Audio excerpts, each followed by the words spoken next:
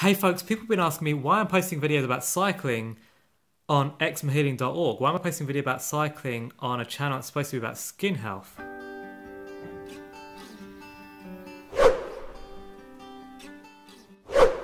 The healing program is a lifestyle. It's not a diet. This isn't something that you're going to do three times a day at meal times.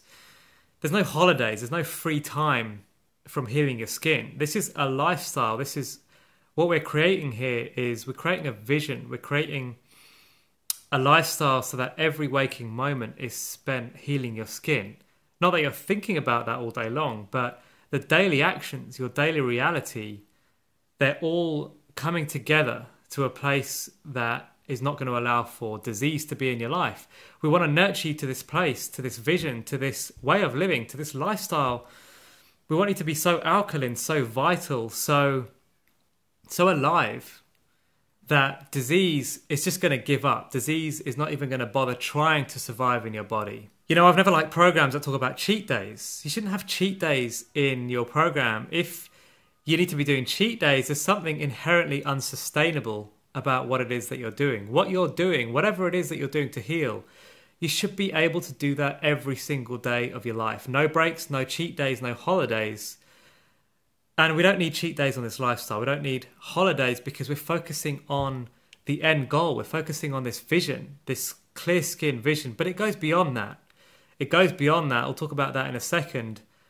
But this has got to be fun. It's got to be sustainable. And as a byproduct, your skin will be clear. Cycling is part of the healing lifestyle. It's your transport. Everybody's got to get around. But also, it's low impact to you. It's low impact to the environment. It builds friendships. It builds community you're outdoors, you're catching the sunshine, but all the while you're pumping the lymph, you're sweating out those toxins, and you're releasing happy hormones, which mean that you can go to bed satisfied with the day and get up tomorrow and feel like doing all over again. So it builds that positivity, takes care of motivation. Motivation won't even come up in conversation because it's fun. Your lifestyle is fun. How many of you can run for two hours and then get up the next day and feel like doing that all over again?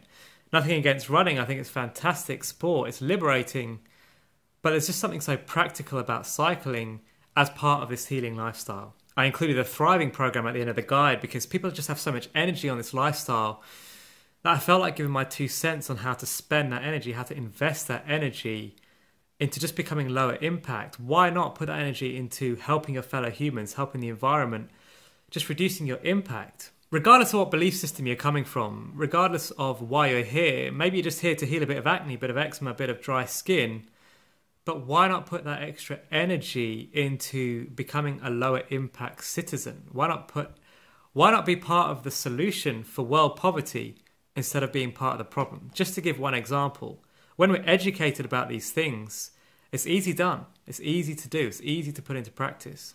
So this goes so much further than just healing the skin. In a way, it's quite selfish just to think about it that far. I'm not saying that we need to be the next Mahatma Gandhi or, you know, the next Florence Nightingale, but look, you have an opportunity here. If you're on this program, if you've got the energy, if you've got the gains, if you've got the healing that this lifestyle gives, why not fuel that energy into other things too? Why not help others? Why not grow the community? Let the life that you love to live also be the life that keeps you healthy, keeps you well, and keeps your skin clear.